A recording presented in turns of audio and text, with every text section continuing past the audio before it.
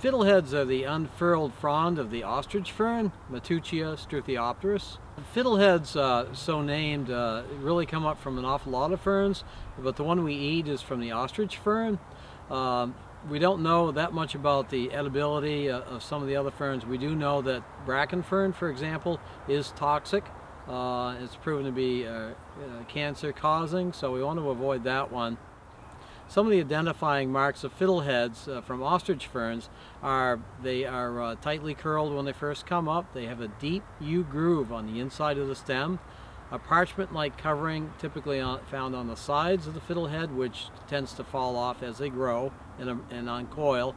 And then they'll have a fertile frond which produces spores which looks, um, they describe it as plumose or looking like a feather.